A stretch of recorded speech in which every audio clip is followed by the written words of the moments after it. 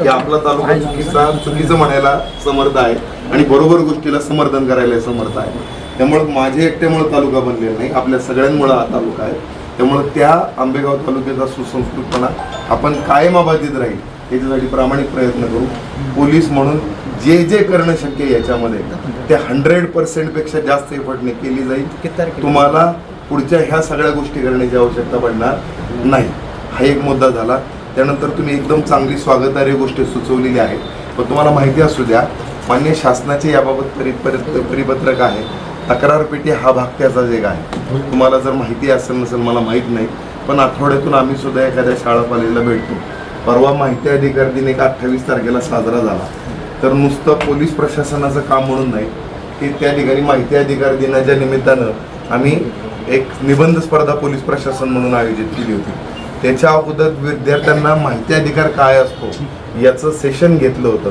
आणि त्याच्या अगोदरच्या दिवशी गुड टच बॅड टच मोबाईलचा चुकीचा वापर सायबर क्राईम त्या ठिकाणावर आपल्याच लोकांपासून डोळे झाकून विश्वास ठेवताना पालकांनी की बाबा आपला शिपाई आहे आपला कुठेतरी हलगडी सालगडी आहे त्याच्याबरोबर पाठवताना सगळ्या गोष्टी हाताळताना आपली अल्पवयीन मुलं ती लहानच आहेत ना त्यांची काळजी घेण्यासाठी आपण सगळ्यांनी मिळून इफेक्टिव्हली केलं पाहिजे. तर हे सर्व उपक्रम तुम्ही जे सांगितलेले आहेत पोलीस काका झालं पोलीस दिदी झालं निर्भयाबद्दल झालं पेट्रोलिंगचे राऊंड झाले शाळा कॉलेजला प्रबोधनचे लेक्चर झाले तर हायेस्ट लेक्चर आपण घेतलेले आहेत. आणि हे तुम्हाला सुद्धा सगळ्यांना माहिती आहे की एक एक शाळा म्हणजे तुम्हाला बिलीव्ह होईल नाही होईल तुम्ही अशी शाळा नसेल की ज्या ठिकाणी पाय लागलेली नाही आणि त्या विद्यार्थ्यांसाठी आपण गेलेलो नाही. त्यामुळं यापुढे सुद्धा तो साप्ताहिक जो कार्यक्रम आहे तो चालूच राहील. तुम्ही दुसरी एक गोष्ट सांगितली होती तर सी सी टी व्ही शासनाच्या आदेशात बदलापूरसारखी दुर्दैवी घटना होती.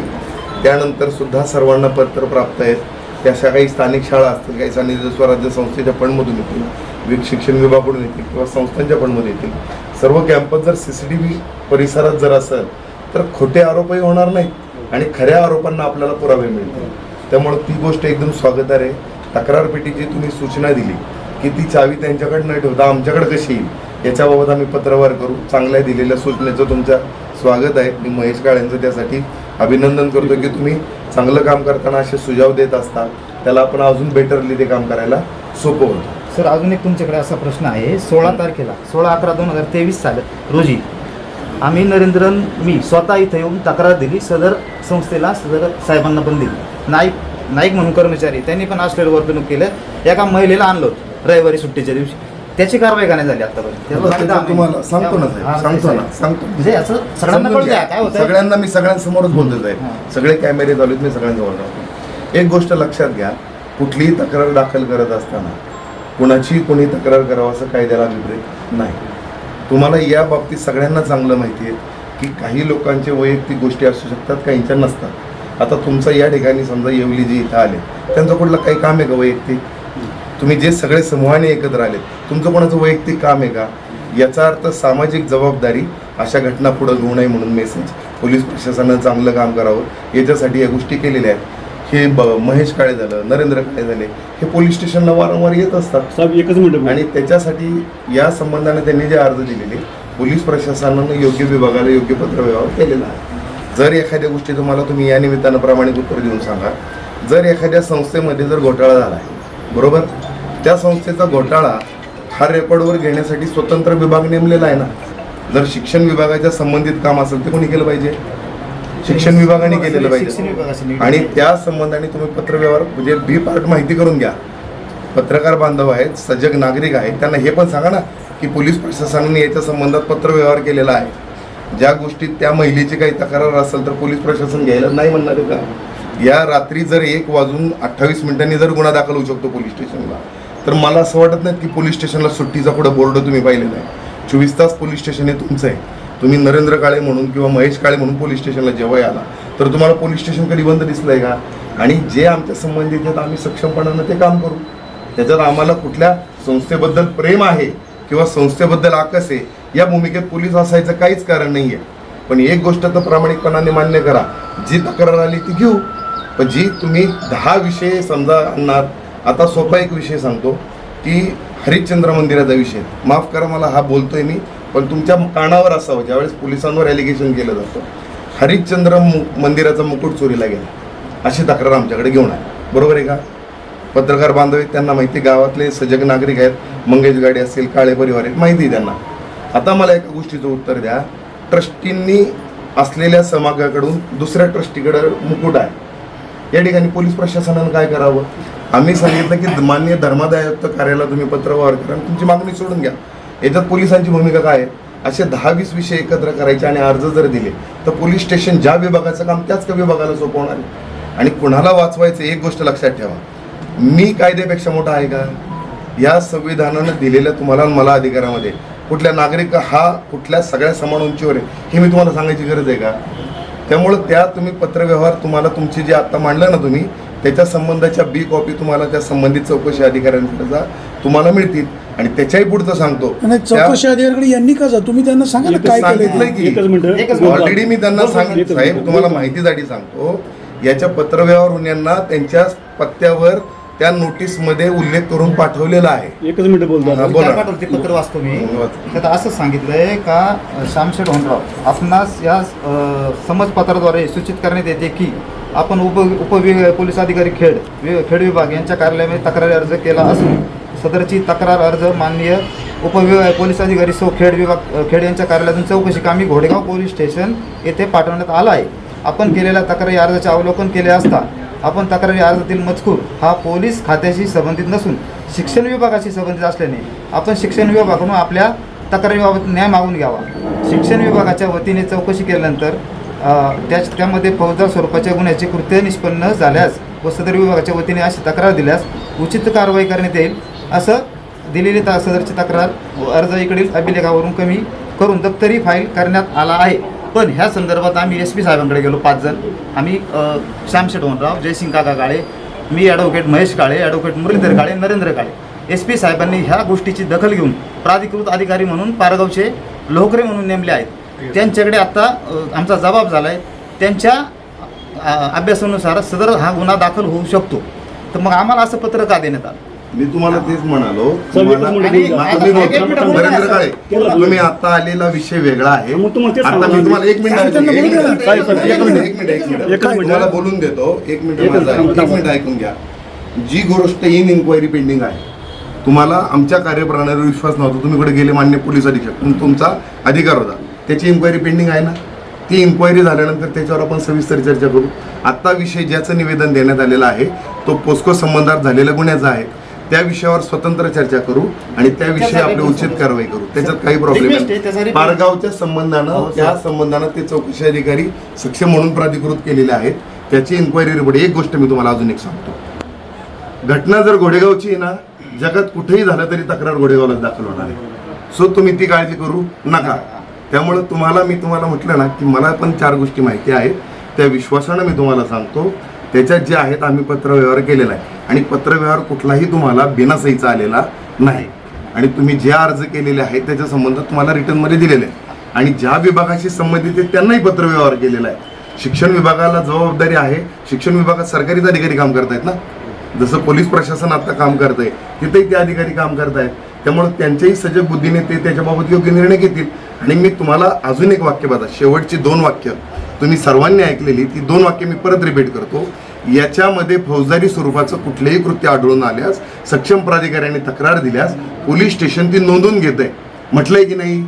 मग आम्ही आमची भूमिका हा? तुमची जोखीमच आहे. काय ती तुमची जोखीम आहे ते तुमचं कर्तव्य आहे. करणारच आहे ना साहेब आम्ही तुम्हाला काय म्हणालो सर आम्ही त्याच्यामध्ये एक गोष्ट लक्षात घ्या. आम्ही शंभर टक्के करू. तुम्हाला त्याच्याही पलीकडे मी सांगतो संस्थेच्या रिगार्डिंग इकडून पाच पन्नास अर्ज हे दोन गट आहेत. त्याच्यामुळे ह्याच्यावर मला वैयक्तिक कुणावर चर्चा करायची नाही. मी सांग साहेब आता त्याच्यावर हा विषय ह्या विषय त्याच्याशी चर्चेची नाही बोलू ना साहेब बोला. तुम्ही ऐका ना पत्रकार म्हणून त्या चर्चा हा, विषय. नाही विषय नाहीये साहेब. एकच मिनिट. टाळला मी काय म्हणलं इन इन्क्वायरी पेंडिंग आहे त्याच्यावर नंतर चर्चा एकच तुम्ही तुमच्या वैयक्तिक आता दोन त्याच्यात मिनिटं काय द्या, बोला दोन बोला. मिनिटं द्या. आत्ता जो आपण जमलोय तो निषेध मोर्चा आहे आपला. तो विषय वेगळा आहे. आणि साहेब सांगतात तो विषय वेगळा आहे. दोघांचं तुम्ही एकत्रीकरण करू नका.